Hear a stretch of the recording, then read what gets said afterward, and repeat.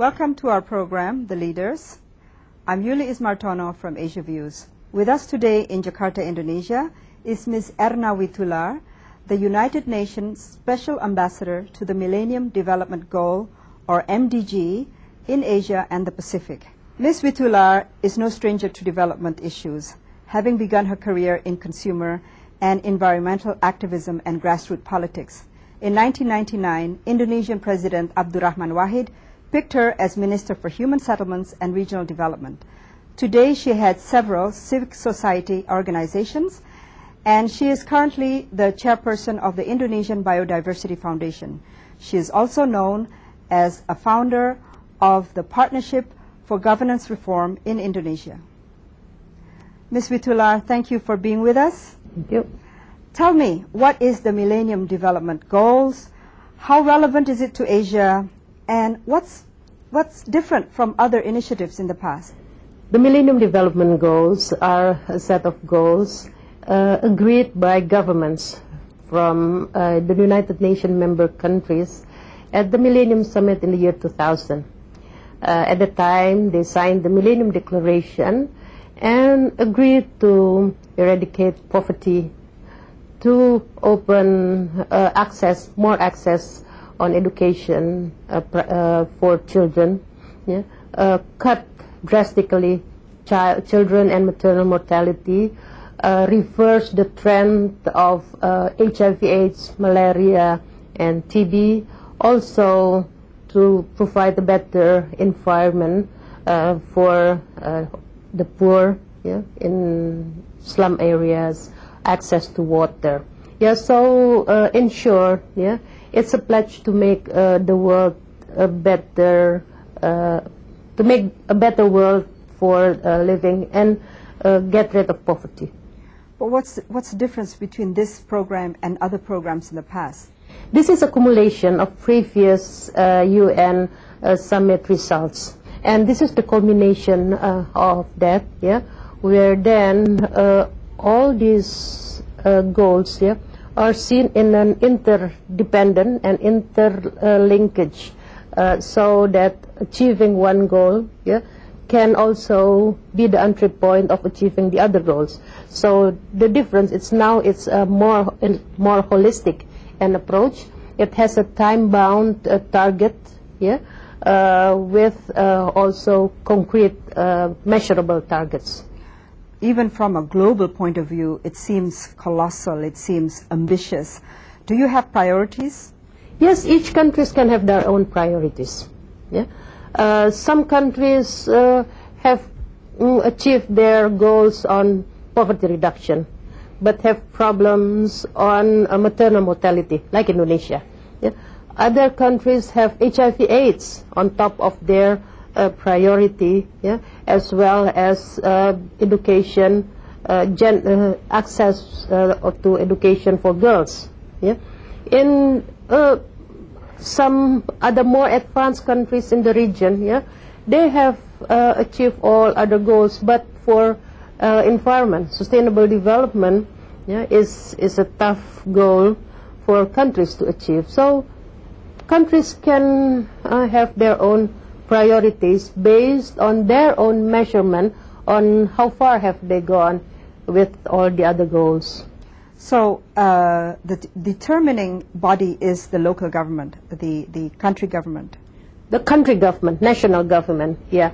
The implementation yeah, is at local level because poverty is at the local level. Malaria yeah, is happening at the local level. Yeah, so the implementation are there.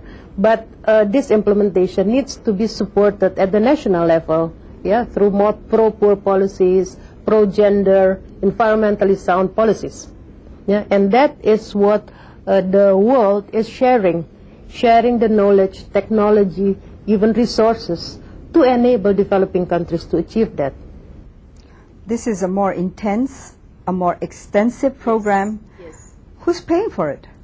Well, uh, there are some goals that we can pay ourselves with our own budget, with our national budget. If we uh, manage it better, yeah, so of course then in incorporated there uh, the good governance, yeah, transparency, accountability. But there are also goals that we cannot cope um, with in uh, with our own resources, like environment, yeah? reversing the environment destruction into environment restoration. Yeah? That we will need resources from outside. And that's why goal number eight is about that. Yeah? Goal number eight is about a global partnership where developed countries pledged yeah, uh, to increase their aid, yeah, to open up more trade uh, opportunity, to uh, give more um, what uh, yeah, debt relief, debt swap, etc. Yeah, to enable developing countries to pay for that.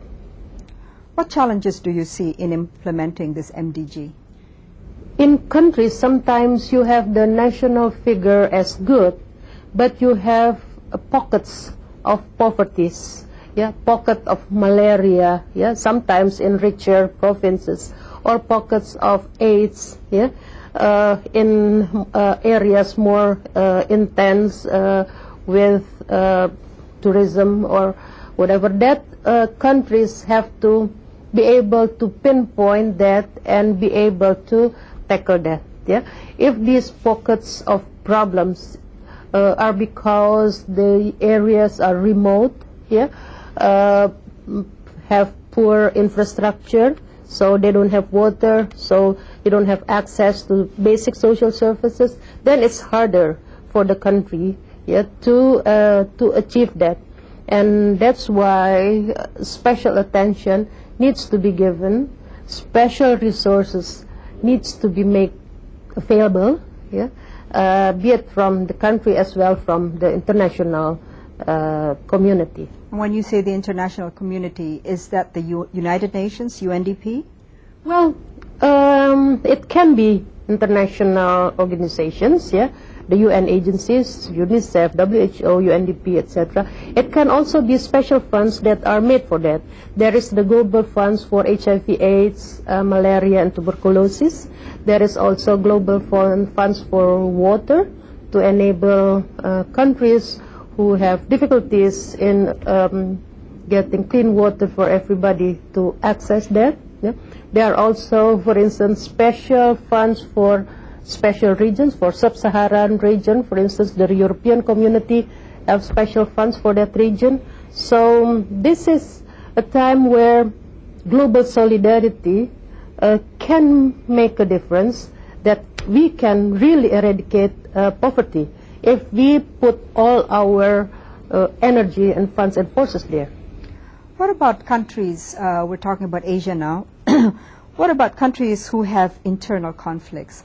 How does the MDG figure in those countries? Yes, uh, in uh, conflict areas, yeah, MDGs are more difficult to achieve.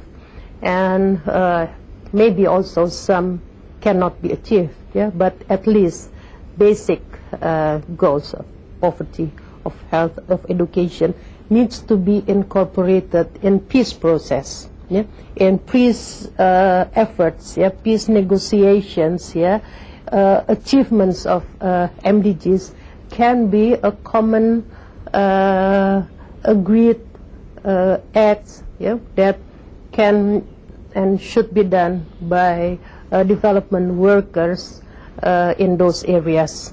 Yeah? Like in Indonesia, for instance, we do give special attention to um, Aceh, Papua, Maluku, North Maluku, Central Sulawesi, yeah, so that uh, conflict area also reach the services needed to increase their chances of achieving their MDGs.